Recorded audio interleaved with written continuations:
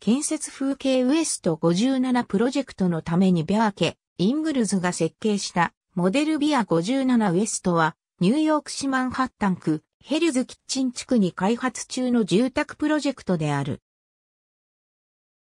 そのピラミッド型のビルは西57丁目に位置しており、以前はこのプロジェクトは625西57丁目やウエスト5セブンス、または単に W57 と呼ばれていた。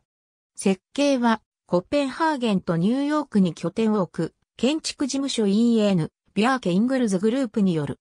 ザ・ニューヨーク・タイムズによると、この名前はドライバーが南向きにウエストサイドハイウェイのスロープを下って、ミッドタウンにちょうど入ってくる位置に、ビルがあるため、マンハッタンのゲートウェイのように機能していることから、来ている。2000年代初頭に EN、ビアーケ・イングルズは、彼の妻と共に、デンマークで、ニューヨークのデベロッパー EN、ダグラス・ダーストと会った。ダーストは、コッペンハーゲンにあるイングルズのスタジオを2010年2月に訪れ、他の建築家とは違う独創性を感じ取った。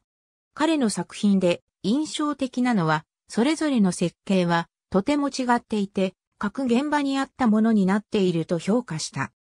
2010年春、ダーストフェトナーレジデンシャルはビッグにマンハッタンに新しい住宅の形をもたらすように委任した。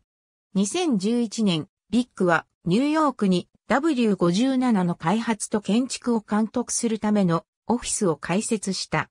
2012年半ばまでに、このオフィスのスタッフは約50名となり、2015年現在はニューヨークで150人以上の人員を雇っている。ウエスト57はイングルズのニューヨークで初めての仕事となった。